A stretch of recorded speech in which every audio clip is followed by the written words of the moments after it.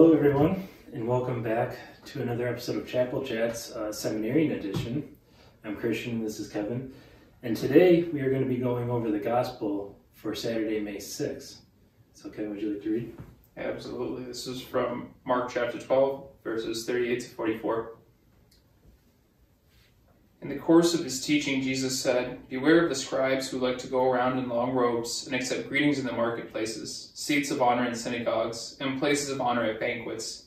They devour the houses of widows, and as a pretext recite lengthy prayers. They will receive a very severe condemnation. He sat down opposite the treasury and observed how the crowd put money into the treasury. Many rich people put in large sums. A poor widow also came and put in two small coins worth a few cents.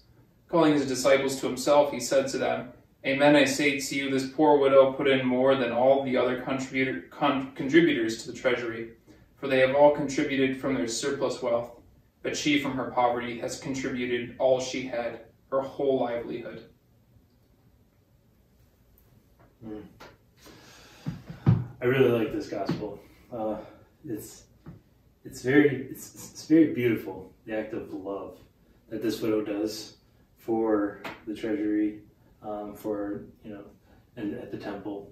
And for me, it's just such a such an act of faith and trusting God, because this widow who is living a life of poverty, so she doesn't have anything, and she still gives two cents to the treasury, and so really she's just putting all her chips in. She's saying, Jesus, not Jesus, but God, I trust in you and she's willing to sacrifice her money that's probably going to feed her, mm-hmm. but she is trusting God that God will take care of her. She, God is going to provide for her.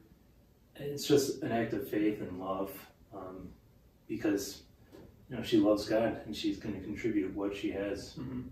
And I was thinking to myself, how does Jesus look in this scene, right? So Jesus, he sits down opposite the treasury, so he's just sitting there, people watching. You know, like we would sit on a park bench and just watch people walk by and Jesus is of looking at these people as they're as they're giving.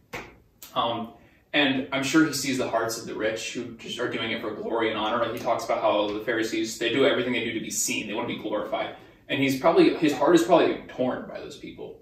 Uh, he's probably saddened by it. But then when he sees the woman give two pennies, the amount of love in Jesus' eyes when he looks at her, and he just sees her heart and is enraptured really by the beauty of how much she loves him how much he loves the Father and is willing to trust the Father. Uh, that just is super moving. And we were Christian and I were talking about this gospel. Uh, this gospel reminds us of a quote from Mother Teresa. I pulled it up here. Uh, the quote is, "Not all of us can do great things, but we can do small things with great love." Right. And I think one of the important things of this gospel that's communicating is that it's the intentions of the heart, the love with which you do the action. The action itself does matter, but if you do it with evil intentions, that con- that corrupts the act and turns it into it can turn into this prideful act where again with the Pharisees, it's about being seen, glorified, and honored. Right. No, that's yeah, that's a great point. Yeah, when I'm thinking, oh, when I see Jesus, it's true. It's just I feel like he's so proud of her. Yeah. Because here she comes with not much at all, and yet she's still willing to give herself. Really, I mean, what person who uh, she doesn't have any money, so she's not really contributing like the other people with their large surplus of money. So she's really just giving all of herself mm-hmm. to to God and to everyone. Mm-hmm. And that's such a beautiful way of like how we can reflect upon our own lives. And not necessarily giving money, but what about acts of service for others, mm-hmm. uh, evangelization um, efforts? Are we really giving all that we have to God and for His church? Mm-hmm. Or are there times where we're sort of holding back, thinking um, that we, we're not capable or we, we're not sure to give all of mm-hmm. ourselves mm-hmm. to God? And, we're, and we don't have that total faith like this woman has. Uh, we think, no, I need this for myself. Like, I can, I can donate this much time, but I, I still need this time for myself or something like that in acts of service. And so, yeah, it's just, it's a great, I mean, she's such a great example. And like you said, just picturing Jesus being so, so proud and loving of what she's done Mm-hmm. that even he just he he tells his disciples that he just asks them like, listen, look at what she's doing, and he just has to tell people because it's such a beautiful act. hmm Yeah, I think uh, one thing that I was thinking about as we were talking, uh, the Gospel of Mark is uh, split into two segments. So there's the first half, which is the first eight chapters, which is discussing um, Jesus is slowly starting to reveal that he's the Messiah, but no one knows it yet. And in chapter eight, that's the big turning point of Mark, where Peter says, "You are the Messiah. You are the Christ, the Son of the living God," and that's like the bombshell for the first half of the Gospel. And so the second half of the gospel, since we've realized who Jesus is, is Jesus showing them what it means to be a Messiah, what it means to be Messiah. Because they thought he's going to be a political ruler, he's going to be great, glorious, awesome cape, sword, destroy the Romans, glory. And the whole second half is basically him saying, no, what it means to be a Messiah is humility, suffering, and death. Because the cross is really the messianic act, is offering himself so that we can be alive and to uh, live with him as our king. And Jesus, when he looks at us, he wants to see the reflection of himself because he is perfection, he is love, he is everything.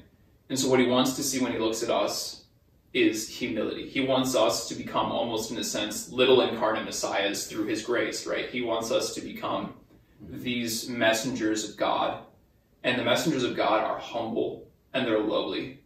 And when you start to become puffed up in your faith and think, look how glorious I am, look at how generous I am with my money, look how much time I give to the church. If it's about you, you've corrupted the very heart of the gospel and you've lost sight of what it means to be baptized, to be one with Jesus. Mm-hmm. I think that's important to remember is because your intentions can always get corrupted over time. Right. We're all broken and flawed. I've noticed that myself. Yep. I think it's important to keep always in mind why do I do what I do? You know, I think that's good. No, absolutely. Yeah, whenever you know we have a good discussion, or it's like uh, we're talking about Christ to others, and there, there's just that tendency, like, oh, that's a great act I just did, and it's so easy to reflect upon that. But really, as soon as that happens, because we're all flawed and we have intention, I mean, thoughts that come or that are temptations from the devil, and so it's easy right after those moments, like, oh, look at what you just did, and but really, it's at those moments where we have to turn to God and say thank you, you know, because it is through the Holy Spirit that those acts are coming forth by the graces that we receive. And so it's always important to glorify God Mm-hmm. after those acts because really, I mean, what are we without the Holy Spirit? he works so much through us, and so it is always important to glorify God, like you said. Yeah.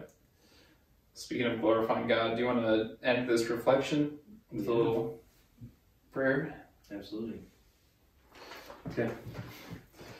In the name of the Father, and the Son, and the Holy Spirit. Amen. Heavenly Father, we just thank you. We thank you for this day. We thank you for the opportunity to grow more in love with your Son. We thank you for the, sending the Holy Spirit down upon us and sanctifying our hearts and our minds so that we may be disciples, that we may proclaim the gospel to others, that others may come to know you. We are so grateful for your love. And we just ask this that you protect everyone, especially during these times of the coronavirus and the, the riots that are happening. Keep everyone safe. Let their hearts be directed towards you for your love. And with that love, we are able to come together with you and love one another. And we ask this through our mother's intercession as we pray. Hail Mary. Full of grace, the Lord is with thee. Blessed art thou among women, and blessed is the fruit of thy womb, Jesus. Holy Mary, Mother of God, pray for us sinners, now and at the hour of our death. Amen. Amen. In the name of the Father, and of the Son, and of the Holy Spirit. Amen.